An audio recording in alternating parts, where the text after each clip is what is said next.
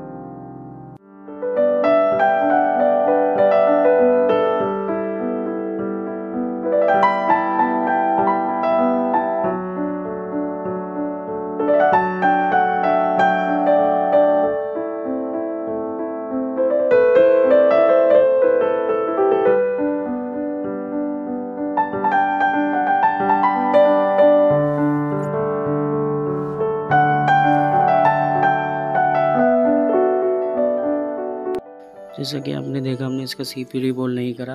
हमने खाली इसकी रैम रिबोल करी थी और हमारा सेट की प्रॉब्लम क्या थी? रीस्टार्ट होता था। ये हमारा सेट प्रॉपर ऑन हो चुका है। वीडियो अच्छी लगे तो लाइक करें शेयर करें, हमारे चैनल को सब्सक्राइब करें।